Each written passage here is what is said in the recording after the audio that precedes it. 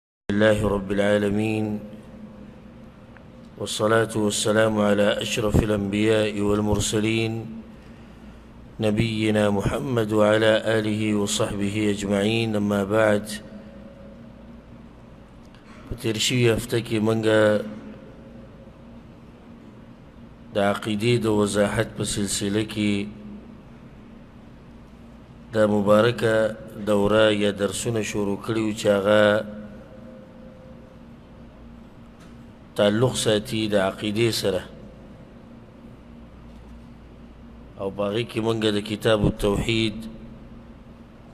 شرح شروع کړې وه د شیخ محمد بن عبدالوهاب رحمه الله او دا د عقیدې د درسونه چې د مسلمان به څه عقیده د د ټولو نه اهم درسونه دي د ټولو درسونو نه اهم درسونه هغه د توحید دي ما دا خبره تاسو ته بیان کړې وه تېر شوي درس کې چې زموږ په ملک کې د دې درسونو د دې بیانونو کمی دی چې په هغې کې د مسلمان عقیده بیانولی کېږي نو ته به اوري یو عالم مقرر امیر سی وي که هر څوک وي دی به د اخلاقو خبره کوي او دی به د معاملاتو خبره کوي او بنیادي مسله به یې پرېښودي چې هغه د توحید ده دین انکار نه کوو اسلام کې اخلاقو مسله شتي د معاملاتو شتي د عباداتو شتي خو بنیادي مسله ول بیان که او په معاشره کې د هغه وخت پورې امن او امان نشي راتلی د هغه وخت پورې معاشره نشي برابرې دی چې سو پورې دی معاشري والا الله نه پیژندلې نو چې الله و پیژني او عقیده و پیژني نو بیا چې دغې نه بعد ته دوی ته څه ښی نو ډېر په شوق سره به مني هم ځکه چې هلته به الله پیژندلی نو چې ته ورته ووایې چې الله دا وایي نو بیا به مني ښه په اسانۍ سره خو چې عقیده د توحید نه وي نو باقي اعمال هم برباد دي او موږ له پکار د ټولو له چې د دې مسلې ابتدا د خپل ځان نه وکړو د عقیده ولې زده کو په خپله عملی کو د هغې نه بعد د خپل کور نه شروع وکړو الله سبحانه وتعالی په سورة لقمان کې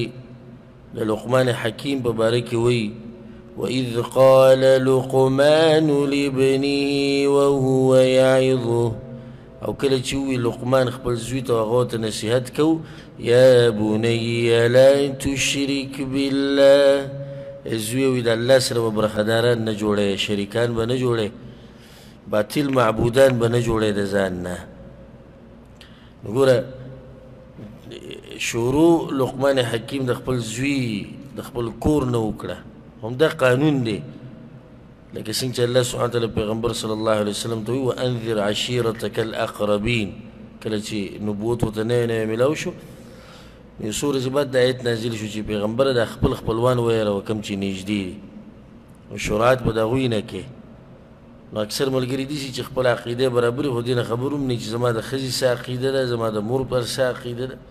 زما د بچو سه عقیده ده خو اوس دغه سره کاری د خزي نه وسو شي نه غواړي چې شپې وسره سملی او دوی مده چې د کور خدمت ولا برابر کړي نور که د دې عقیده د شیعه ګانو وي که د دې عقیده د بریلیانو وي که د قبر پرستو وي او که د سره عقیده نه وي داسې هم شتي چې د سره عقیده نشتي واړه وي زموږ دغې څه څه کار دی او د بچو نه ریال او روپۍ او ډالر غواړي او دا چې غواړي چې بس انجینیر شي او ډاکټر شي نور دغې سره زموږ څه کار چې عقیده څه عقیده نو اهمه مسله هغه عقیده ده ښځه دې زما خدمت نه کوي او ښځه دې زما سره مینه محبت ډېر نه کوي خو په دې ورسره ورانېږم چې د الله سره محبت ډېر نه کوي دې کې به ګزارو کو هېڅ خبر نه که د کور خدمت یې ونه کو او که بل څه دي چې کمی د خاون په حقوقو کې وکړو نو خاون له پکار چې ګزاره وکړي خو په دې کې ګزاره نه کېږي چې الله نه پېژني عقیده نه پیژني پیغمبر نه پیژني او دغه شان د بچو سره ښه مینه محبت ورسره کوو خو دومره ده چې د بچو سره چې څومره محبت کوو د دې نه زیات محبت د الله سبحانه وتعالی سره کوو نو زما ټولو ته دا نصیحت دی د دې درسونو په دې اوله کې چې دا څه چې تاسو یې زده کوئ دا خپلو بچو ته ښځو ته ملګرو ته مشرانو ته ټولو ته به یې ښایي که مشر ومي عمر یې دنه زیات وي یا مقام یې دنه اوچت وي هغه ته به هم عقیده ښیې هغه ته به هم منهج ښیې او بله مسله دا ده چې دعاګانې به د الله نه ډېرې غواړي چې الله ما د توحید په عقیده باندې مضبوط ساته او د شرک نه مې بچ ساته ګوره الله سبحانه وتعالی په قرآن کې د ابراهیم علیه السلام دعا را نقل کړې ده رب جنوبني وبني ان نعبد الاصنام ای رب ما او زما اولاد د بوتانو د بندګۍ نه لرې ساته ابراهیم علیه السلام د بوتانو بندګي به کوي نو بیا هم یېرېږي نو ځکه یو روایت کې دا راځي چې ابراهیم علیه السلام په ځان ویرېدو نو د هغه نه بعد بیا څوک دي چې هغه په ځان نه ویرېږي موږ خو خپله خپله باندې اچولی بس کلمه هم ویرېدو صرف په کلمه ویلو کار نه کېږي ستا عقیده څه ده هغې ته پوس په کار داسې خو کلمه ګو ډېر مسلمانان به تا ته میلاو شي چې صرف د کلمې ویلې ده بس ولې دا به د قبرونو ته چې د سجدې لګي دوی کلمه نه وایي څه وایي د درګاهونو دربارونو له جزید ولې کلمه نه وایي څه دا مریدان او پیران ولا او بیعتون ولا ولې دوی کلمې نه وایي څه ټول کلمې وایي دا صرف دا نه چې کلمه وایي خغټه دعوم کوي او د خپل کار ګوره اسلام غني ثابتې يم په بعضو وهمي دلایلو سره چغدي او ته دلایل وایي الغرض دا چې صرف کلمه ویلو باندې کار نه کیږي کلمه به وې عقیده به زده کې بیا به خې خلکو ته خپل په عمل کې به خلکو ته خې او بل دا چې دعاګانې به د الله نه ډېرې غواړي چې الله ته په توحید باندې مضبوط وساتي او د شرک نه دی په امان کې وساتي هغې نه بعد بیا الله سبحانه تعالی تعالی کامیابی درکوي د دې نه مخکې چې موږ دا کتاب شروع کو کتاب التوحید د شیخ محمد بن عبد الوهاب رحمه الله یو څو مسلو ته اشاره په تیر شوي درس کې ما یو څو خبرې بیان کړې وي یو مې دا بیان کړې و چې موږ عقیده ولې زده کوو د هغې جواب دویمه مسله دا بیان شوې وه چې مسلمان د توحید سره څه تړون دی او څه به کوي هغه خبره موږ ذکر کړې وه درېیمه ده چې د کتاب التوحید چې چا لیکلی شیخ محمد بن عبدالوهاب رحم الله دا څوک و د هغه مختصر سیرت هغې ته موږ اشاره کړې وه او دا خبره موږ بیان کړې وه چې هغه یو موحد انسان و په دې جزیرة العرب کې په دې علاقو کې تاسو چې پکې اوس اوسېږي په دې کې د قبرونو بندګي به کېده او دقه شان درګاهونه دربارونه به اوسېږي چې اوس زموږ په دې ملک کې او اوس دا ملک چې دی نه الحمدلله ثم الحمدلله د الله سبحانه وتعالی په توفیق سره او بیا د شیخ محمد بن عبدالوهاب او سره د امام محمد بن سعود الله یې دواړه وبخښي د هغوی هغه محنت او کوشش دا د فائدې لپاره دا خبره ذکر کوم ما ابل خپل زوی په سکول کې داخل کو د دې سعودي عرب په سکول کې نو هغه په اولني کلاس کې کتابونه اولني ورکړو کور ته راوړو ما کتابونه کتو به کې یو کتاب کتاب التوحید وړکي ماشوم ته کتاب التوحید او د کتاب التوحید کې د سیز دغه وړکي نو په دې اوله کې استاد ته نصيحت لیکلی هر کتاب چې سکول کې که جامعه کې که یونیورسټۍ کې که مدرسه کې اولنی مخ باندې استاد ته یو نصيحت لیکلی شوی د هغې ادارې د طرف نه چا چې دا کتاب لیکلی چې ته به دا داسې پړاو کې داسې به وکړي دا مقصد دی دا هدف دی نو په دې اوله کې یو څو خبرې لیکلي هغه مې کتې نو دی لیکلي دي چې استاد ته او معلم ته موږ دا وایو چې دا ماشوم تا سره پوره کال به سبق وایي ده ته به دې پوره کال کې دوه خبرې وښایه یوه دا چې زمونږ رب څوک دی په دې به پوه کړي دویم موږ په دې دنیا کې د څه دپاره یو ولې دې دنیا ته راغلي یو په دې اولني کال کې به ورته دوه خبرې وښایې دا ماشوم چې دا خبرې د دې عمر نه زده کوي د ده نه به څنګه موحد جوړېږي تاسو اندازه ولګوئ دا د توحید ملک دی برکت د توحید چې ماشوم ته په وړوکوالي کې دا خبرې ښایي زه درته راشي سپینګیري ښیم هغوی ته هم دا پته نه شي چې موږ دنیا کې ویلي یو او کېدای شي دا جواب درله درکړي چې دې دپاره یو چې پټي او ځمکې او جیدادونه ساتو کېدای شي دا جواب در درکړي وایي چې دې دپاره راغلي یو او دلته ماشوم ته دا مسله ښیي دی ورته ویلي دي وي دوه مسلې ورته یې زده کړه بس دوه لازم نه چې دی به دا خبرې یادې خو ماشوم نه یادې خو چې دوه خبرې یې زده کړي دی په دې یو کال کې یو زمونږ رب څوک دی مونږ د چا بندګي کوو دویمه مونږ په دنیا کې ولي یو دا د توحید برکات دی الله سبحانه تعالی دغه شان توحید او څنګه چې دې ملک کې نشر شوی دی او خور شوی دی الله سبحانه تعالی زموږ په ملک کې دغه شان خور کړي او الله سبحانه تعالی زمونږ په ملک کې چې کم خلکو شرکیه عقاید دي یا د تصوف او ګډې وړې عقیدې دي الله سبحانه تعالی هغه ټول له هدایت ورکړي او الله سبحانه تعالی زموږ د ملک نه دا درګاهونه او دربارونه او دا قسمه قصې د الله ختمې کړي ښه ما ته اوس دا خبره کړې که تاسو ته یاد یو په دې باندې درس ختم شو چې د شیخ محمد بن عبدالوهاب رحم الله په باره کې ډېرې شبهې دي د بعضو خلکو سره او بعضو سره نه بلکې زموږ اکثرو خلکو سره او په هغه باندې بهتانونه دي یو څو او زه به د هغې جواب کوم زه یو څو شبهې ذکر کوم یو څو مشهورې داسې خو ډېرې دي خو بس داسې چې هغه د جواب لایق نه وي مشهورې به ذکر کوو او دا راته بیا وایم ګورئ چې د شیخ محمد بن عبدالوهاب رحمه الله هغه د نن نه تقریبا دوه سوه کاله مخکې مړ شوی او هغه د دې نجد علاقې او نه زما قوم او نسب او دغه قوم او نسب یو دی او نه دا چې ژوندی دی ما له پیسې راکوي چې ته زما مشورتيا کوه نه بل څه او نه بل څه خو دا سیب دې دپاره چې دا تړون زموږ او د هغه په منځ کې د عقیدې د لاسه دی دا ټول علما دي سي دي ولې دا باز په شیخ محمد بن عبدالوهاب رحم الله باندې غوسه کی که زه تذکره وکړم د امام ابو حنیفه رحمه الله دا د غوسه کېدو خبره ها بلکې کېدی زما تندې مخ کول کی وګورئ د علماو حق دی پیژني څنګه د امام ابو حنیفه رحمه الله منهج بیان دا خبره صحیح ده دا صحیح ده چې دا ښه طریقه ده نو چې د شیخ محمد بن عبدالوهاب رحمه الله منهج او عقیده بیان کما او دغه صفت وکما او دغه دفاع وکما نو بیا ته ولې غوسه کېږي دا خو د امت یو امام تیر شوی دی که که زه د امام بخاري تذکره کوم څوک پې نه خفه کېږي که زه د امام مسلم تذکره کوم څوک پې نه خبر کېږي که د زه د زه د دې وخت د علماو په پاکستان کې مثال کې د یو مشهور عالم تذکره کوم څوک پې نه خبر کېږي اوسنی چې یو عالمي خو چې د شیخ محمد بن عبدالوهاب رحم الله نوم والي نو ډېر به به تا پسې خبرې شروع کړي او ځکه د یو طریقې زده کړه کوم ځای کې چې دا معلومول غواړي چې موحدین دلته څوک دي د دې شیخ تذکره وکړه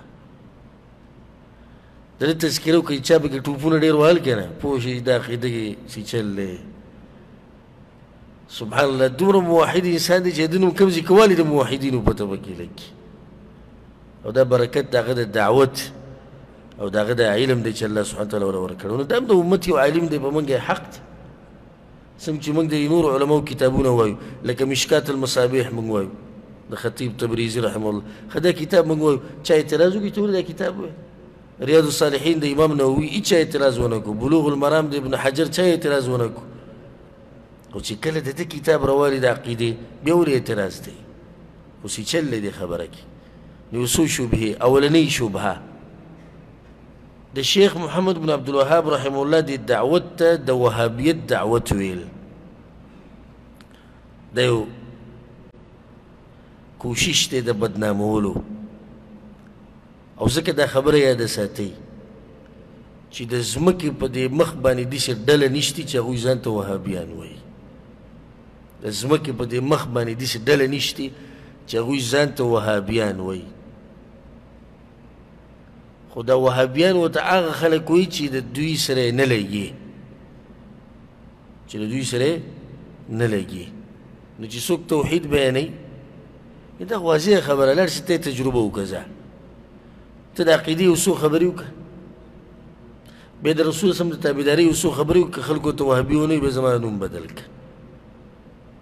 نو دې سړي وویل چې زه وهابي یم نه دی ویلي موږ الحمدلله د کلونو د دعوت شروع کړی د الله په توفیق سره په ما څوک نشي ثابتولی چې ما یو بیان کې یا یو کتاب کې یا په یو مجلس کې ویلي چې زه وهابي یم یا ما چاته ویلي چې راشه وهابي شه چاته مې ویلي خو ما ته خلک وهابي وایي ما ته خلک وهابي وایي ابولز يو کس زما مبارک کي څه نشريات نشر کړي يو مولا نو باغي کې دلی کړي وي دا کټاس او کټر وهابي د دوه ټکي سره زیات لګولو چې لکه خ خبره مضبوطه شي ګوره دا بهتان شي مو خو نه چته ویلي چې موږ وهابیان یو نه موږ چته ویلي چې راشه وهابي شه د شیخ محمد بن عبدالوهاب رحمه الله دې دعوت ته د وهابیت نسبت ولې کېږي؟ د دې جواب واوره. د افریقې افریقه چې کومه علاقه ده افریقیا د دې په شمال کې په دویم دویمه صدۍ کې د هجرۍ دویمه صدۍ کې هلته یو کس پیدا شوی چې د هغه نوم عبدالوهاب ابن عبدالرحمن ابن رستم الخارجي دې نومونو کې فرق کوي عبدالوهاب بن عبدالرحمن ابن رستم الخارجي د دې د خوارجو عقیده وه او په هغه وخت کې هم علما کرامو په ده باندې فتوی لګولې چې د ده عقیده د ده منهج د د قران او حدیث منهج نه دی کله چې شیخ محمد بن عبد الوهاب رحمه الله په یو لسمه صدۍ کې دعوت ته توحید شروع کو نو دشمنانو سوچ کو چې دا سړی خو بدنامول غواړي کنه اوسې چې لوګي د څنګه بدنام کو د خو د توحید خور کو او قبر پرستی ختم شوه د بوتانو بندگی ختم شوه کاروبار پکې د ډیرو بند شو دا سوکو سوکو سو راشه هغه نوم هغه نوم چې هغه دی عبدالوهاب بن عبدالرحمن بن رستم هغه نوم برولو په ده به یې ولګو نو ده ته به د دوی د دعوت ته به وهابیتوب وایو نو خلکو ذهن به ځي هغه وهابیانو ته چې د هغوی نسبت چا ته کېږي عبدالرحمن عبدالوهاب بن عبدالرحمن ابن رستم ته نو د بدنامولو دپاره د ده دعوت نسبت هغې ته وکړو حالانکې دا کمزورې خبره عبدالوهاب ابن عبدالرحمن ابن رستم دا په 190 هجری کې مړ شوی په 190 هجری کې مړ شوی او شیخ محمد بن عبدالوهاب رحم الله په دولسمه صدۍ کې دی مړ شوی او یا په دیارلسمه صدۍ کې دیارلسمه صدۍ کې مړ شوی نو څومره فرق دی په منځ کې څه تقریبا څه د پاسه زر کاله فرق دی دوی په منځ کې نو کوم ځای کې هغه او کوم ځای کې ده نو دا فایده یې د ساتي ګوره دا ابن رستم چې کوم دی دا چې کوم ګمراه انسانو د د دعوت صرف په افریقا کې چریدو هم په شمال د افریقا کې او د شیخ محمد بن عبد الوهاب رحمه الله دا خو عالمي دعوت دی په جزیره العرب کې خصوصا ټول جزیره العرب کې خور شوی بله مسله دا یاد ساتئ چې شیخ محمد بن عبد الوهاب رحم الله په خپل کتابونو کې په خوارج باندې رد کړي چې هغه عقیده د هغه عبد الوهاب د کم چې د افریقې دی نو څنګه د دې نسبت هغه ته کی درېمه خبره ده یاد ساتئ د شیخ محمد بن عبد الوهاب رحم الله د دعوت ته د وهابیت دعوت ویلو نسبت وهابیت ته کول د نسبت غلط دی وجه دا ده هغه عبدالوهاب دی داسې دی محمد بن عبدالوهاب دی نو نسبت چې دی شیخ ته کې نو بیا به هغه کس ته چې څوک د ده په لار روان وي هغه ته محمدي وی څه به ورته محمدي نو دوی دا سوچ وکړو که محمدیان ورته وایي به خو جاغه خړېره شو دوی خو به دې خوشحالېږي چې موږ ته خلک محمدیان ووایي ځکه چې موږ خو یو د محمد صلی الله علیه وسلم په لار نو محمدیان خو موږ یو او څه وکړو راشي وهابیان ورته ووایه نو بدنامي به وشي هغه عبدالوهاب به پرې یادېږي نو بیا هم نسبت غلط دی بیا هم نسبت غلط دی وجه دا ده چې عبدالوهاب بنده د وهاب بنده د وهاب نو نوم خو وهاب دا خو د الله نوم دی نوم وهاب دا د چا نوم دی دا د الله نوم دی بیا هم دا نسبت غلط دی نو د شیخ محمد بن عبد الوهاب د پلار نوم دی عبد الوهاب دا خو دغه نوم خو نه دغه نوم خو محمد دی نو دې ځکه دا فائدې ده ساتي چې وهابي نوم باندې هیڅ ډله نشتی او د دغه خبرې جواب چې ولې د دې شیخ رحمه الله د دعوت ته د وهابیت نسبت کیږي او په هغې کې دشمنان څه کوشش کوي ولې دا کار کوي د هغې وجه ذکر شو او چې کوم ځای کې توحید بیانې چې کوم ځای کې توحید بیانې تا ته به خلک وهابي وایي دا خو ما ته څه وایي تجربه یې وکړي تجربه وکي تجربه په بل نوم بدی نه یادي هم دقه به دا وهابي دا وهابي خو څومره چې تا کې توحیدي دومره به تا ته ستا نه هغه کمزوری وهابي وایي لکه اوس یو سړی دی قبرونو له ځي راځي ابلو ته قبرونو له تګ راتګ دا غلط دی نو دې ده ته وهابي وایي بیا بل کس راغی د دې بل کس غلطیان هم بیان کړي دا کوم چې سنه سه توحید کې گزاره کی دی هغه ته وهابي وایي نو بیا د ټولو غټ وهابیان هغه ته وایي چې چا قرآن او حدیث مضبوط راټینګ کړي اته وهابیان وایي دا وایي وهابیان دي نو دا امام شافعي رحم الله دا خبره کړې وه امام شافعي رحم الله وی چا چا ته وی ته شیعي کنه هغه ته وی وی که شیعتوب د پیغمبر سره محبت ته وی او که شیعتوب د آل بیت د پیغمبر د کورنۍ سره محبت ته وی او د صحابه کرامو سره محبت ته وی او د غوی په منهج باندې تک ته وی نو باید ساتي چې ټول غړ شیعه زما خو دا شیعګان دروغ وي دوی اسی شیعه نوم استعمالوي نو موږ ځان ته وهابیان نه وایو خو که څوک را باندې بیا میږدي چې نه ته وهابي یې نو که توحید منل وهابیتوب وي او د پیغمبر تابعداري وهابیتوب وي نو بیا صحیح ده وایه راته زموږ خو کار د قرآن او د حدیث ته تابعدارۍ سره دی دې ته پام نشته الحمدلله چې څوک راته څه څه نه وموایي ځکه که په دې پسې لاړو نو بیا خو د دعوت او د کار به رانه ودرېږي دویمه شبهه بعض خلک دا وایي وی د دې شیخ محمد بن عبدالوهاب یو ورور د غنومو سلیمان ابن عبدالوهاب او وی ګور هغه د خپل رور پر رد کې کتاب لیکلی دی الصواعق الالهیه فی الرد علی الوهابیه یا فصل الخطاب فی الرد علی محمد ابن عبد الوهاب دغه د پر رد کړي وره نو صحیح خبره ده چې دا دروغ دي د یو کتاب شتیم نه چې سليمان بن عبد الوهاب لیکلی په خپل رور باندې او ردی وکړي ها د سې راځي تاریخ کې چې په اوله کې چې کله شیخ رحم الله دعوت شروع کړو د رور ولا خبره نه منله او دې کې څه تعجب نه دی پکار لکه اوس ته الله د قرآن او حدیث په یو مسله باندې پوه کړې لاړې پلار ته دې بیان کړه نو لازم خو نه چې د اولې ورځې نه به ستا خبره مني د ډېرو سره پکې پلار ورونو دومره دښمني کړې چې د کور نه یې شړلي د کلي نه یې ویستي دي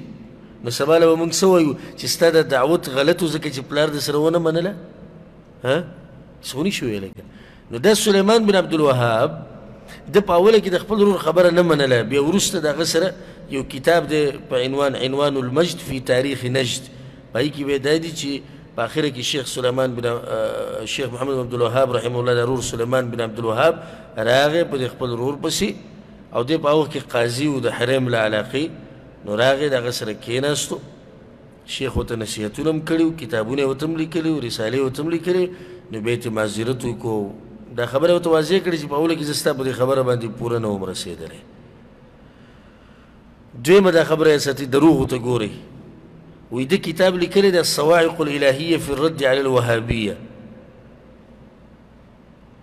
نو دا خو دې په خپل پلار باندې بیارت کوي د دې پلار نوم څه دی عبدالوهاب نو څنګه دی وی چې په وهابیانو باندې رد دی دروغ ته ګوري دویمه ده چې په دغه ټیم کې خو د دعوت له وهابي وهابيتوب چاره وي دا خو ته ورسته وي چې کله شیخ مړ شو او د دعوت توحید خور شو نو خلکو په نوم د وهابيتوب کې خو نو په دغه وخت خو ته چا دانه چې دا وهابیان دي نو څنګه دې کتاب ولیکل شو چې پای کې وهابي نوم راغلی د دلیل یې په دې باندې چې دا دروغ دي درېیمه شبهه وی شیخ محمد بن عبدالوهاب رحمه الله د قبرونو زیارت نه مني دا خبره یې ساتي چې دا شبهه خو ښه واضحه ده او باطله ده او منګړت ده او کمزورې ده تاسو به انشاءالله به یې درسونو کې واورئ د هغه منهج چې هغه د قبرونو مبارک یې څه وایي ها دی ویلي دي چی د قبرونو زیارت چی کی نو په هغی سره به اخرت را یادی او د مړو د پاره به دعاګانی د الله نه غواړی او قبرونه مبرونه به نه سټی نه به د قبرونو خاوری خوری نه به د قبرونو د زیارت لپاره اوږدې اوږدې سفرې کې نه به د دې قبر والا نه څه غواړي، نه به په دې قبرونو باندې ګلونه اچې، نه به دا قبر پخې، نه به په دې قبر باندې نومونه لیکې، نه به دې قبر سره سجدې لګې، نه به په جومات کې دننه قبرونه جوړې، نه به قبرونه دنګې. نو دا خبرې خو د ټولو نه اول زموږ پیغمبر صلی الله علیه وسلم کړي دي. دا خو هغه کړي دي، نو بیا خو په هغه باندې هم دا رد وکړه کنه چې هغه د قبرونو نه منع کړې ده. دروغ دي نو د دین منه کړی دین منه صحیح ده کنه ده صحیح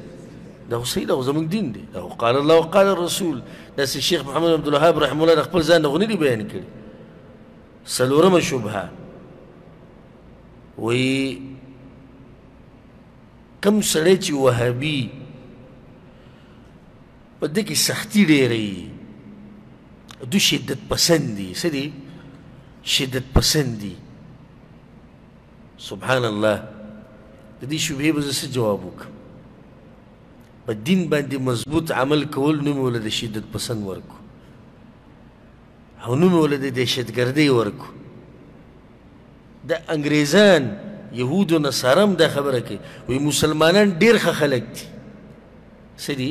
خه خلک دي خو صرف څوک وي دا وابیان چې ورته ویل کېږي دا ښه خلک نه دي ما د هندو پنډت بیان اورېدو په انډیا کې کو هغه وی وی زمونږ او په انډیا کې د مسلمانانو ډېر ښکلی حالات روانو ښه ګزاره کېده خو د کمې ورځې نه چې دا وهابیان را پیدا شوي دوی کار وران کړی ورځ کې چې وابیانو سپا خبره وکړه چې وای د الله له دوست سره به دوستي کو او د الله دشمن سره به دشمني کو خبره واضح کړه کار وران شو دوی کار وران شو کنه مړه پرېږده د وابیانو یې ګیره به پرېږدي او وړکې به نه او پنسې به د ګيټو نه بره ساتې او لمونځ به په دې طريقه کوې او غم ښادي به په دې طريقه کوې او په غم کې چې دی خيراتونه دغه ځای کې نه شي کولی او په ښادۍ کې دا نه شي کولی او په مانځه کې به دا داسې يې او په قبر کې به دا داسې کوې او په جومات کې به سخت خلک دي بلکې او دا شدت پسند خلک دي په دين باندې مضبوطوالي ته شدت پسند وایي او نور چې پستی پستی خبرې کوي نه هغه څه دی دا حق پرس علما دي برکت یې دی خوله کې وایي یو ډم دی توبه ویستې ده د سندرو نه پښتن دی نو هغه به د یو مشهور مقرر عالم نه دی مقرر تقریرونه کوي نوم یې نه علم نوم اخیستونه بیا ډېر خلک بیا ما په خیر یادوي او صفتونه به راله بیا کوي دا ډېره ناشنا خبره ده چې کور کې دننه ناشي په کور کې په هغه کوټه کې ناشي چې هغه په ګوټ کې بیا د هغې په ګوټ کې ناشي او په ما باندې ردونه کوي ښه د حکومت نه پیسې واغستې وې ته راشه مخامخ خبره به وکړو خبره به واضحه کړو نو دا یو مقرر دی د ډم چې توبه وست نه د صفت کو خسنګ صفت کو یره د د پشان انسان او د د پشان عالم او د د پشان تقوادار او د د پشان پرهیزګار معنی دی دل دا خو دغه القابات چې کوم ور خسنګ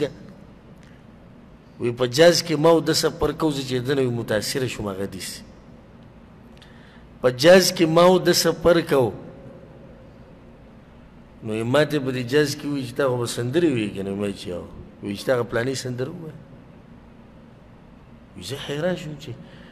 لکه د دې ګوره ما سره ټوغه کوي که نه د غوسې نه وي زه غلی ناست یم ما ته سندره ووایه دریم پیر راته بیا ووایي وي ما سندره ووي او وي مولانا صاحب دا لاس دسي په دې زن يخودی ده وي ماته ګوري وي ما چې سندره ختمه کړه ماته وي چې ماشاءالله څه ښایسته اواز الله تعالی درکړی وی بیا راته وی چې د انډیا هغه پلانۍ سندره هغه درته یاده ده نو عجب وی چې دغه لږه ووایه وی هغه مې ووی او د مولانا صاحب مقام زما په زړه کې ډېرېدو ډېر چې دومره اوچت انسان ته وګوره ما ته وایي سندره ووایه نو اوس دا کار خو موږ نه شو کولی که څوک راته دې ته داسې شدت پسند وایي چې زه به یو کس ته چې سندره ما ته واوره او زه به ورته داسې ناست یم او سبحان الله وبلا زیاتي وایم نو ګوروي علما دسی ایو دا وهابیان دي سندري حرام دي شراب حرام دي نسوار حرام دي پرده به خزه لازم کوي کور ته د نرور نشي راتلی کور ته د ماما زوی نشي راتلی کور ته تر زوی مړو ځان نه سخت دین جوړ کړي نه نه دا اقا سوچه دین دی کوم چې اسمان نه راغلی او دا چې کوم سره ته خوشاله کنه ته به کې ملاوټونه کړی ما تاسو ته دغه یو کس واقع بیان کړو اله په تبلیغ کې مې سور ذکر زیدو بلکې مشر دیری ته پسې زلالم چې ور موټه کونو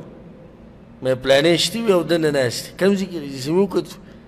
دیری په دې منځ کې کوم د ناشتي د زید کې د روټي لپاره اکثر د ملګری بکی دغه ځکه فلم لګېدل د انډیا او د بکیم ناشې تشبیه دي شاړي ته څه کوي څه کوي دې لکه وی دا شی ولګو د دې سړي خلاف په څوک کې ها د دې دعوت ستاسو بدی شي د چا بدی شي د دعوت دا خسته دعوت او دې سیمولیان خو دوی خوختي د انډیا فلم ته سره کینی بس دی هلکانو یې ولګو نو اوس به سره څه کړي ښه نو که دغسې ته دې بل یو حق پرست عالم بولی وی نو اولنی کار به هغه دا کړی چې دوی ته به ویلی وی چې دا کار ستاسو د ګناه دی دا حرام دی دا خو نافرماني ده الله نافرماني ده پیغمبر نو بیا ورسره طبیعت لګېدو ورسره طبیعت نه لګېد نو بیا به لازم دا ټاپر اچوله چې دا شدت پسند دی نو شیخ محمد بن عبدالوهاب رحمه الله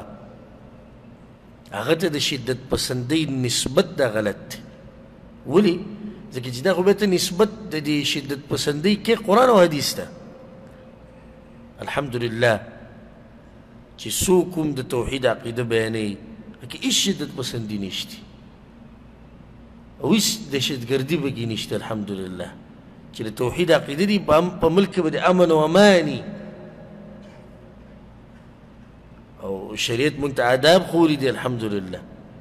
دا غلطه خبره چې دا شدت پسند خلک دي او دا سخت خلک دي نه کم ځکه الله او د الله رسول سختی کړې ده هلته سختی کول دا دینداري ده هلته سختی کول دا دینداري ده کم ځکه د اسانتیا مجالي لاري نو خبره بیا به اسانه څومره اساني خو په شرط دي چې مجال پکې لار جوړیږي دې لپاره په شریعت کې څو شوبهې شوي څلور پنځمه شبهه دا ده وي شیخ محمد بن عبدالوهاب رحمه الله به مسلمانانو ته کافران وي مسلمانانو ته به کافران وي سبحان الله هغه یو رساله لیکلې وه قسیم والو ته د قسیم علاقه چې ده په هغه وخت کې به د شیخ باندې دا بهتان لګېدلی چې د مسلمانانو ته کافران وایي نو شیخ دغه په جواب کې لیکل کړي نو پاره کې دا خبرې لیکلې دي یو په کې دا لیکلې و وي خلک په ما باندې دا بهتانونه لګي چې زه مسلمانانو ته کافران وایم موحدینو ته کافران وایم وي زه خو هغه سړی ته کافر نه وایم چې څوک د احمد البدوي په قبر باندې سجده لګي دا مشهور دی په عربو کې او پیر دی او د عبدالقادر جیلانی قبر ته چې څوک سجده لګوي زه ډایرک په هغه باندې د کفر فتوا نه لګوم ځکه چې جاهل دی نو چې پوهه کړی شي خبره ورته واضحه کړی شي حجت پې قایم شي بیا یې نه مني بیا دغه مسله راځي نو څنګه زه مسلمانان کافران کوم زه خو دوی ته هم کافران نه وایم تی سړی په چا باندې کفر فتوا لګوي په مسلمان باندې په قبر باندې یو سړی ولیدو او قبر ته سجده لګوله ته به ډایرک د کفر فتوا لګي نه ځکه شیخ البانی رحمه الله نږدې وخت کې تیر شوی تقریبا شل کاله مخکې هغه ته یو صوفي قبر پرست ټلیفون وکړو او ته دا ووایه تاسو وهابیان مسلمانانو ته کافران وایې د کفر فتوې لګوئ شیخ ورته ښه بیا ورته شیخ رحم الله دا وویوي چې یو سړی قبر ته سجده لګوي او عبادت یې کوي ته هغه ته څه هغه زه ورته کافر وایم چې قبر ته داسې واضح سجدې لګوي عبادت کوي زه ورته کافر وایم نه شیخ ورته وګوره موږ ورته کافر نه وایو موږ ورته ځي چې ډایرک کافر نه وایو موږ به ځو معلومات به کوو د شروط تکفیر دي موانع دي د هغې نه بعد به بیا ګورو ګوره ته ورته ډایرک کافر وي نو تکفیرې ته یې که زه یم هغه بس ټلیفون کټ کو پټک الټا قصه په هغه کې ثابته شوه او اسی شیخ رحم الله پورې بهتان لګو نو دا په موږ باندې بهتان دی چې دوی تکفیر کوي د خلکو الحمدلله موږ د مسلمانانو موحدینو تکفیر دا نه کو تکفیر به مسله کې موږ خسختی کو چې دا د عوامو کار نه دی دا د علماو او به په علماو کې د راسخین علماو چې پوه علما دي دا د غوی کار دی الحمدلله ښه بله شبهه دا ده وی شیخ رحمه الله دا خبره کړې ده چې د الله چې کوم صفات دي هغه داسې دي لکه د انسانانو دا هم کمزورې خبره په دې باندې شیخ رد کړی دی او دا خبره یې کړې ده چې زما د ایمان دی چې د الله صفات دي حقیقي خو د هغې کیفیت الله ته معلوم دی ځکه دا بعض خلک تاسو به دا ټکی اوري دا یاد ساتي بعض خلک موږ ته مجسمه وایي څه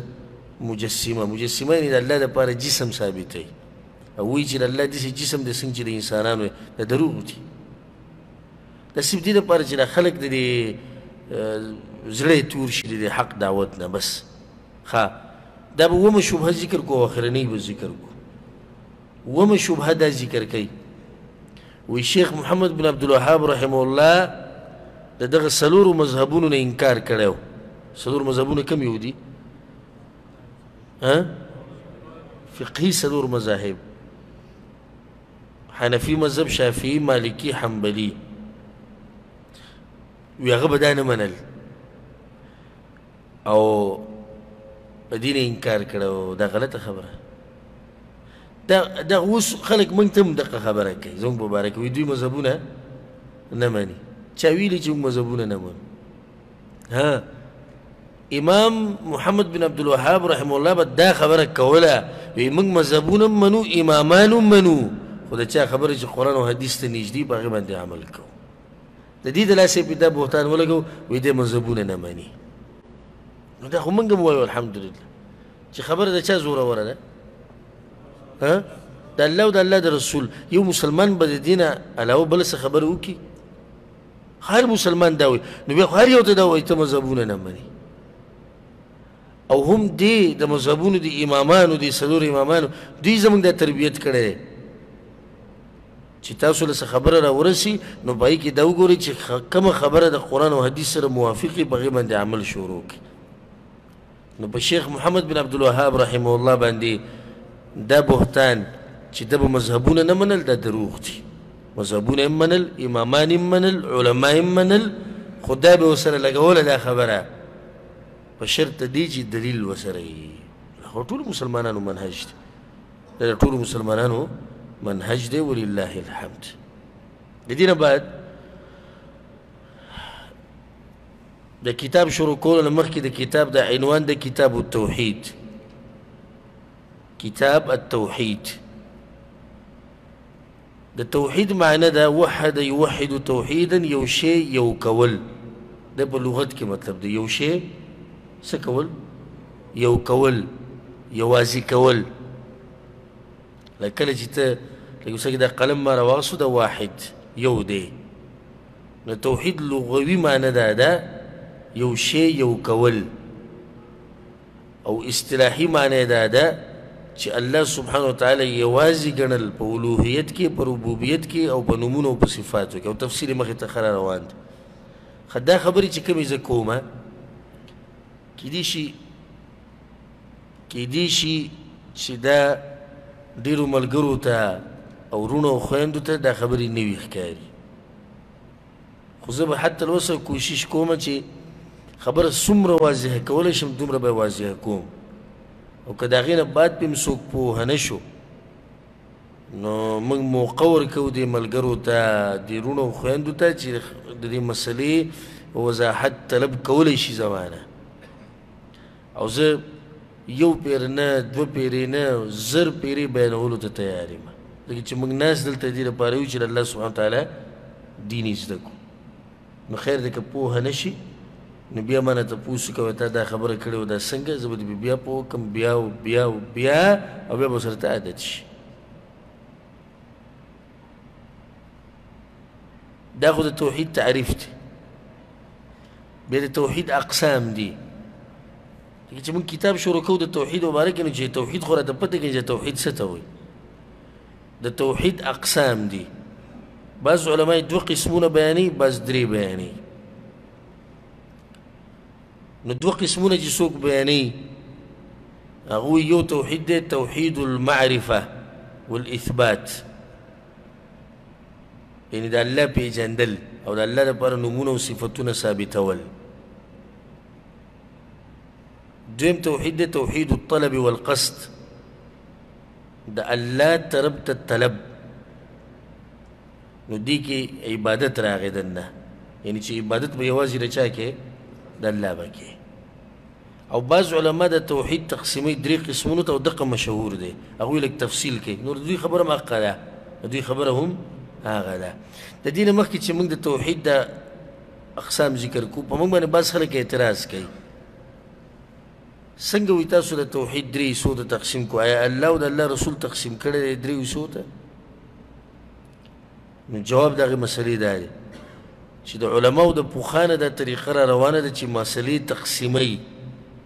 د دې لپاره چې د مسلمانان په پاسانی سره پوه شي او دوی په خطرې سره یاد کړي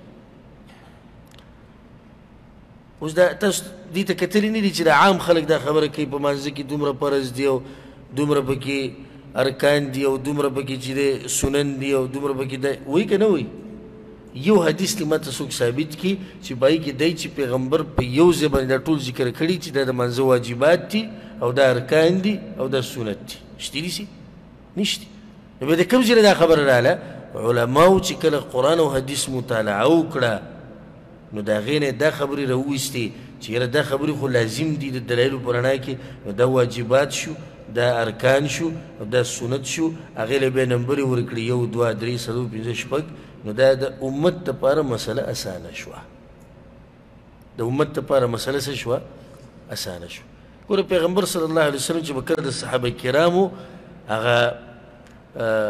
سوچ او ذهن خپل طرف ته راړو او دې خبرې ته مې راړو نو څه به وي لکه مثال یو حدیث کې دا دي وی ثلاث من کن فيه وجد حلاوة الإيمان درې خبرې چې بچا کې د ایمان خون به وسکي اوس دې کې دې خبرې ته سوچ کوي څو خبرې درې بغیر د دې درې د ټکو نه پیغمبر د خبره ذکر کولای شو کني شو ذکر کول ذکر کولای شو کنه دا درې به کې ولي وې د دې لپاره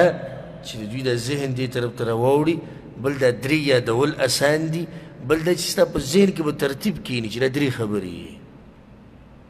دغه لپاره وي نور د دین علاوه پیغمبر ذکر کولای شو چې وي دا خبره دا خبره دا خبره دا چې په چا کې د ایمان خون بسکی بغیر د دین چې درې خبرې دي علما کرامو چې دا خبرې بیان کړې دي چې دا واجب دی دا رکن دی دا سنت دی دا د عوامو د سانتیا لپاره خصوصا علماو ته مفتیانو ته هم د دې ضرورت راځي لکه ورته زما خواله راغلي او ما نه دې تپوس وکړو چې ما مونځ کو په منځ کې مې سجده ونه کړه زما دا رکعت او دا مونځ وشو که نه؟ اوس چې ته دومره دا غټ د قرآن کولاوی او ګورې او بیا د حدیثو د ذخیره کولاوی او چې د دې به ګورې څه حکم او څه نیسن هغه علماو دا مسلې ته ته اسانې کړي قرآن حدیث په رڼا کې نو ویلي دي وایي سجده رکن دی او د رکن نه بغیر رکات نه کېږي او د رکات نه بغیر مونځ نه کېږي مسله څومره اسانه شو ښه یو سړی راغی وی وی وی ما مونځ کو خو سبحانک اللهم به کې ونه وي نو د قرآن او د حدیث په رڼا کې چې انسان مطالعه وکړي علما له الله دغه دغه طاقت ورکړي نو د هغې نه دا واضح کېږي چې په مانځ کې سبحان سبحانک اللهم ویل سنت دي نه واجب دی او نه رکن دی نو سنت چې پاتې شي مونځ کېږي که نه کېږي کېږي نو دې سړي مونځ څه شو لمونځ یې صحیح شو نو د دې د لاسه علماو د توحید درې حصو ته تقسیم کړی بله مسله دا یاده ساتئ چې دا ګورې شیخ محمد بن عبدالوهاب رحم الله نه تقسیم کړی نه شیخ الاسلام ابن تیمیه او نه امام ابن قیم پوخانی چې څومره علما دي لکه امام طبري رحمه الله څومره پوخانی عالم دی ابن منده او ابن عبد البر او نور علما مشهور د امت علما پوخانی هغه دا تقسیم کړي دا مسله دا هغه وخت را روانه اسنه چې اوس اوس اوس چې دین اهل حدیث دا مسله د ځان نه جوړ کړه یا بس خلکو دا تقسیم د امام ابن تیمیه دی یا ابن القیم نه دا د بهتان لګول دا تقسیم د پوخان را روان دی الحمدلله نو دې دا واضح شو چې څوک ستا په دې تقسیم باندې رد کوي نو دې هسې تا سره تعصب ساتي نور د سره څه دلیل په دې باندې نشته ما ووی کنه چې بعض علماء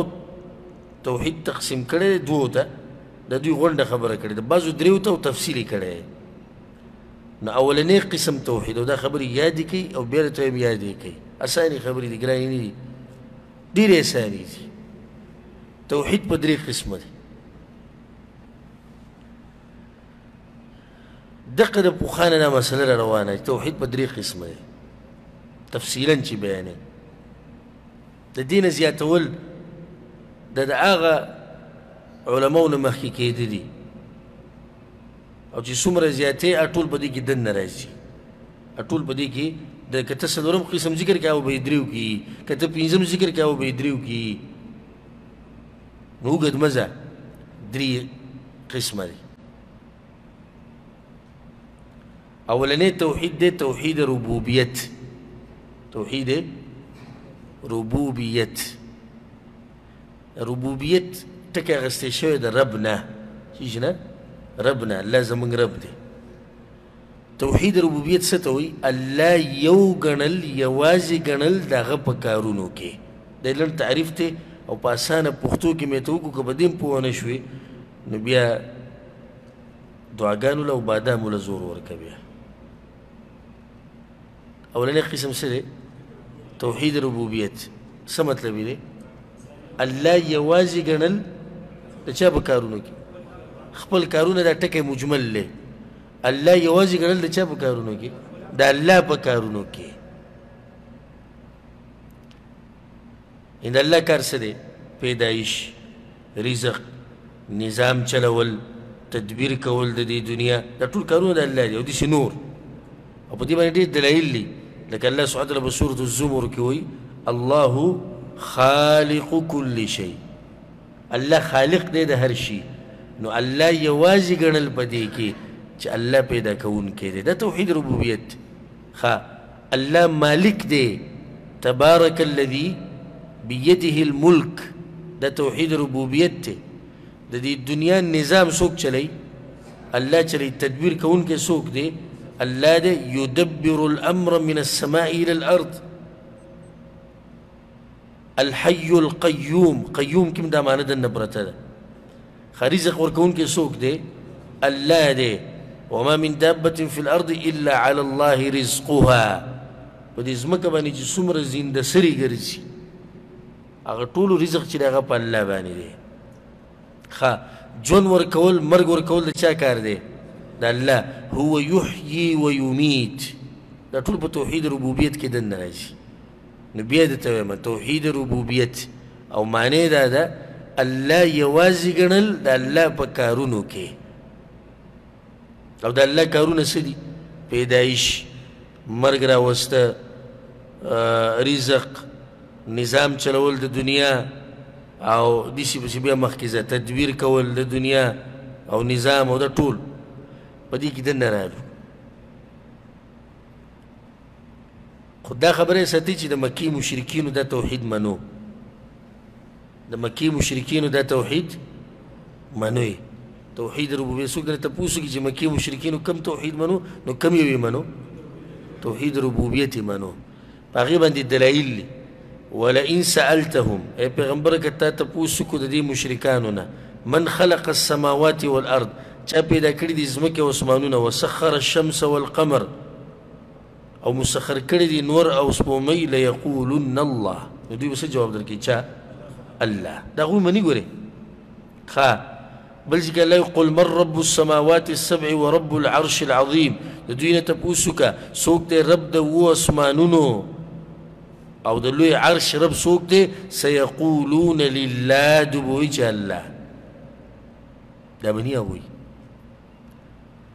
نصيب دې بعضو دقه خبره راټينګه کړې ده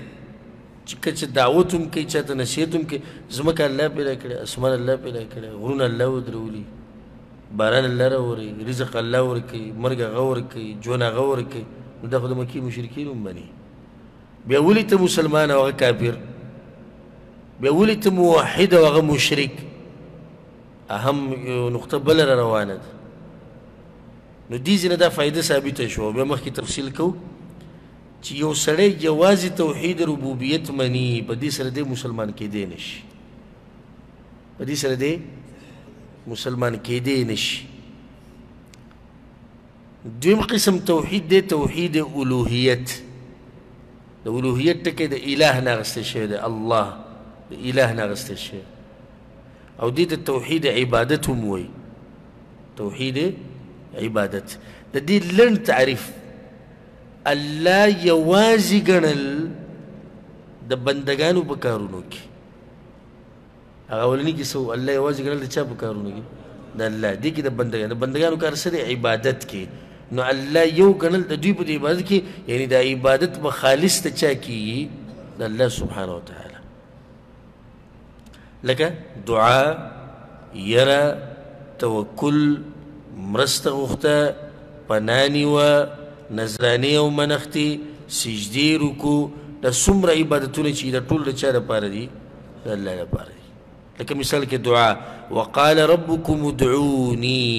او ستاسو رب دا وایي چې دعاګانې زما نه غواړي دعا عبادت دی کنه نو چې اوس ته لاړې قبر ته ودرېدې پلاني یې ماله دا راکړه پلاني یې ماله دا راکړه ته الله یو وګڼو دی کې ها نه تا خو سره دیم شریک کو کنه تا ورسره دیم شریک کو ښه یره به صرف د الله نه کې انما ذلکم الشیطان یخوف اولیاءه فلا تخافوهم وخافون ان کنتم مؤمنین ږیره بیا په دوه قسمه دم فائدې ده سره ځکه چې اکثر کې دي چې زړه کې راغلي چې ږیره خو مونږ کو د دشمن نیم کو نه دا طبيعي یره دغه نه وایم هغه ير چې د عبادت په توري د عبادت په تور اوس مونږ الله لیدلې نم دې لیدلې خو یری ګوتی دا عبادت ته دا عبادت ته دا یره دا به خالص د الله نه کې او دغه یره چې په انسان راشي چې د دشمن نه ویریږي د حادثې نه ویریږي د طبیعي یره ده دلته دغه یره نه ده مراد ښه توکل به صرف په الله کې ځکه دا مې عبادت دی وعلى الله فتوکلوا ان کنتم مؤمنین الله وی که مؤمنانی ان توکل به صرف په الله باندې کوئ ښه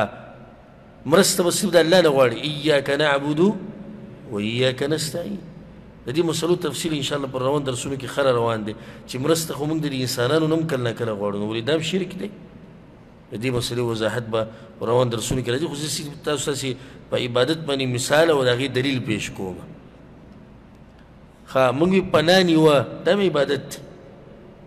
لکه اوس ته پناه دې ونیوه په غیر الله پورې په شرک کې واقع شو او دلیل په هغې باندې دی چې صرف په الله پورې نیسي قل اعوذ برب الناس زه پناه نیسم په چا پورې په الله پورې چې هغه رب د انسانانو دی او سبحان الله د آیت ساتي او څومره جګړه چې د باطل او د حق په منځ کې روانه ده هغه هم په دې توحید کې روانه ده په دې توحید کې په هغه اولني کې نه ده ګورئ هغه اولنې شبه متفق دی یعنی اتفاق په د غالبونو ډلو دی د یهودو هم باغی موږ سره اتفاق دی د نصارا هم دی د مکې د مشرکان هم دی د ډیرو دی ډیر لږ خلک دي چې توحید ربوبیت ته انکار کوي او هغه دغه دهریه دي ملحدین هغوی ته انکار کوي فقط نو د هغې نه چا انکار نه دی کړی خو ما تاسو ته وویل چې د هغې د منلو د لاسه صرف څوک مسلمان کېدی نه شي چې څو پورې ورسره دا توحید نه منلی مکی مشرکانو منله چې اسمان چا پیدا کړی الله پیدا کړی خو چا چې د اسمان پیدا کړی دی یوازې بندګي د نه کوله ځکه مشرک پاتې شو دا یې منله چې رزق الله ورکوي دا یې منله چې مرګ او ژوند الله ورکوي خو دغه الله چې دوی وایي چې د مرګ او ژوند ورکوي د هغه سره یې بوتان هم شریک کړي او د هغې د لاسه دی مسلمان نه شو دا فرق دی نو که چېرته ته دا ووایې چې د توحید مطلب دی ځمکې الله پیدا کړې اسمانونه بیا خو ابولهب هم موحد و بیا خو هغه موحد شو کنه شو کنه شو بیا خو هغه شو اصل مسله دا توحید ده دا هم د دې لپاره پیغمبران راغلي بیانولو لپاره ولقد بعثنا في كل امه رسول موږ لګره د هر امت ته پیغمبر سره پر الله ان اعبد الله چې بندگی به یوازې الله کوي دا کوم توحید دی ها توحید الوهیت دلته الله دا وری چې مو ته دا وی چې ته به دا وی خلکو ته چې زمکه اسمانونه الله پیدا کړی ده نه ان اعبد الله توحید الوهیت نه مسله شروع شو او دین منل د مکی مشرکانو د پیغمبر صلی الله علیه وسلم سره اوس ګوره ابو جهل وای زمکه عثمانونه الله پیدا کړی ابو لهب هم دا خبره کوي زمکه عثمانونه الله پیدا کړی رزق هغه ورکوي مرګ به هغه راولي نظام هغه چلی او که توحید او لا اله الا الله مطلب صرف دی نو بیا خدای موحد دی نه هغه ګوره زمونږ د دې وخت د مشرکانو نه ښه پوهېدو په لا اله الا الله باندې پیغمبر صلی الله علیه وسلم د صفا په ډیرې باندې ودرېدو اعلان یې وکړو او یو کلمه درته ښیم که تاسو ووایئ عرب او عجم به ستاسو محتاج شي الله به درله په دنیا او په آخرت کې عزتونه درکړي او څه خوشحاله شو وایي دا کومه کلمه ده ویې وایه موږ ته وایي لا اله الا الله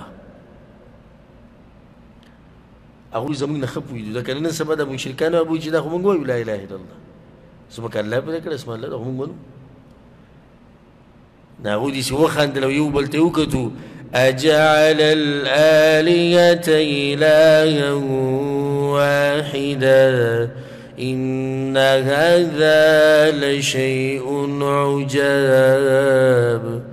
دی لیونی ته ګوره وی دی وی دی وی چې ټول معبودان پرې دی او صرف د الله بندگی کوي ګوره په لا اله الا الله باندې وی پوی دوی چې دا مطلب دی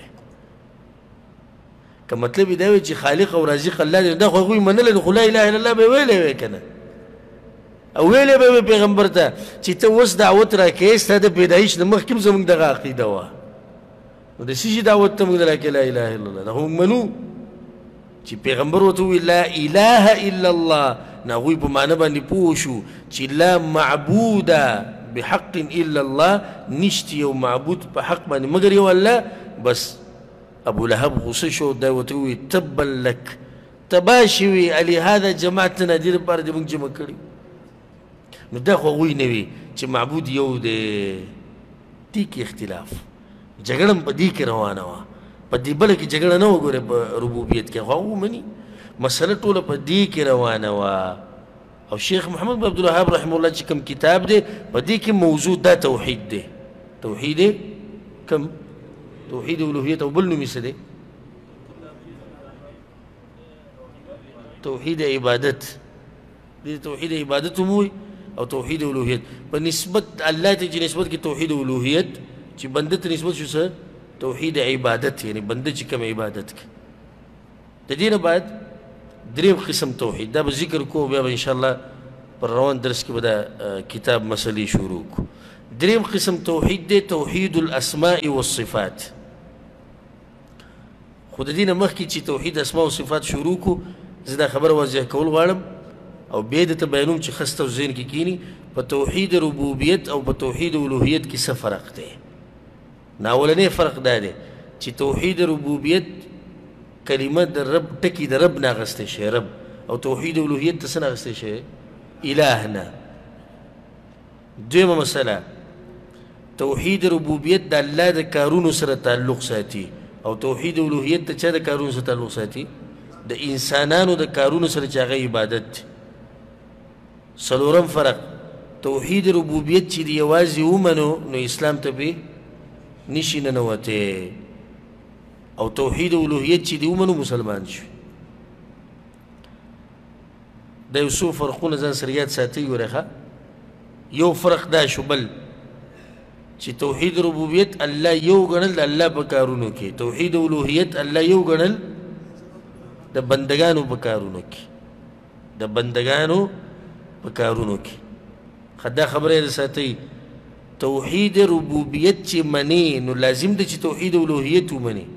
څنګه اوس یو سړی دی وی الله خالق دی الله رازق دی الله مرګ ژوند راولي او د هر څه الله کوي نو په دې لازم نه چې د الله بندګي وکړي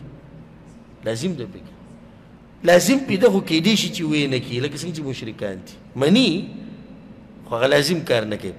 او توحید الوهیت چې مني نو لازم به تا توحید ربوبیت منلی وي هغه به تا منلی بیا پای کې دن نه دی څنګه لکه اوس ته د مسوته مونځ وکړو عبادت ته وکړو کنه عبادت یوازې د چا وکړو د الله دی وکړو دا توحید الوهیت دی تا ولې د الله بندګي وکړه ځکه چې الله خالق دی رازق دی مالک دی دا دی دا دی نو په توحید اولوهیت کې دنه کم توحید راغی ربوبیت نو دا کېدې نشي چې یو سړی دا وایي چې زه اولوهیت منم او ربوبیت نه منم دا نشي کېدی دا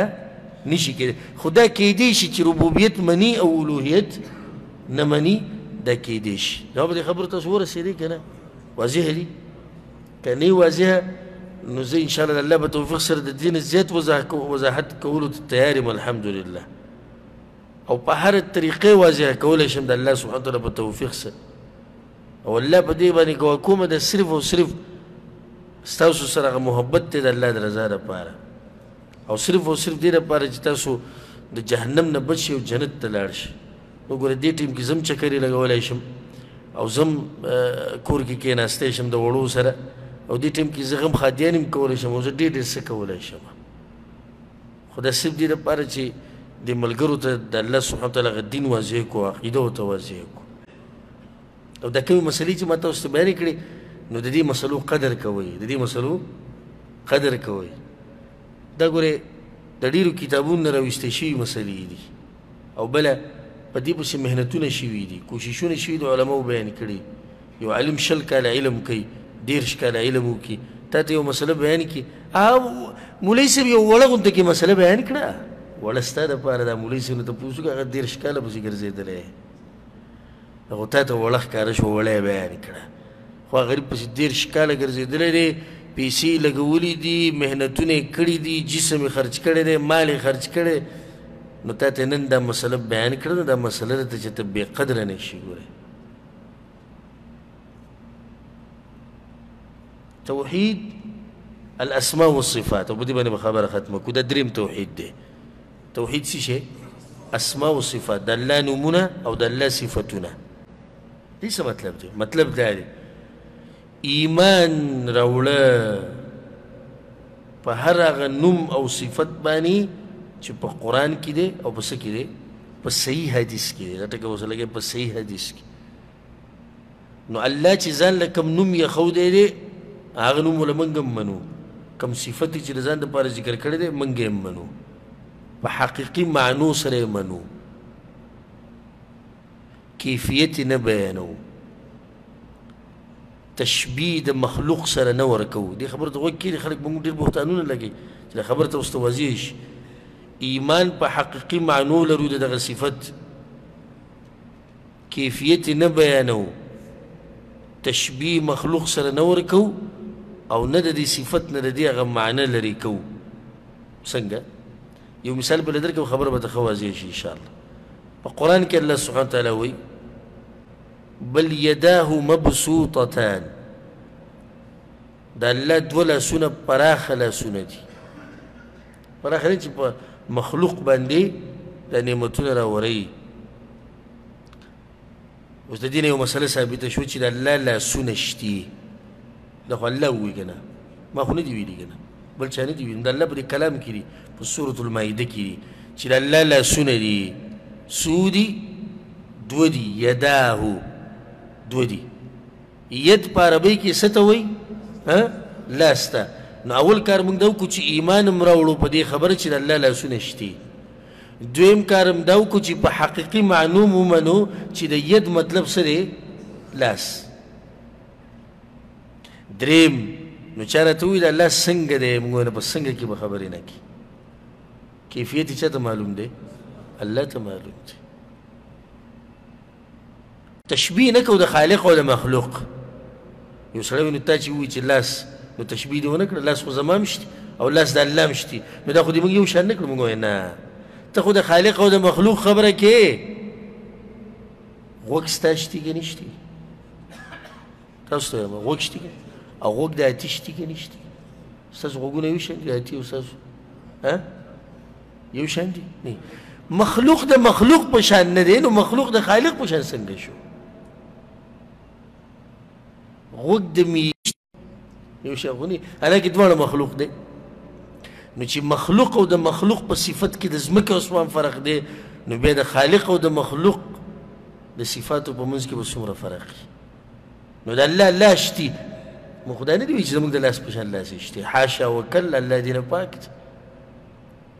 خو په دین ایمان په دې راوړی دی چې الله راته ویلي چې زما لاسونه شته نو بیا بس څه وایي ګمراه وایي د لاس مطلب دی طاقت اوس ګوره حقیقي معنی وله څه کړه بدله کړه دی ظلم وکړو چې دا یو چم دا معنی نه ده کړې نو بیا یې راګیر کړه ته به راګیرېږي او انشاءالله دې تفصیل به ښه مخکې را شي بل یداه مبسوطتان د الله دوه لاسونه پراخه دي نو دې څه مطلب چې د الله دوه طاقتونه دا خو به معنا غلطه شو نو په هر ځای کې به دوی پساویږي نو توحید توحید الاسماء والصفات به به راته څوک وایي څه مطلب دی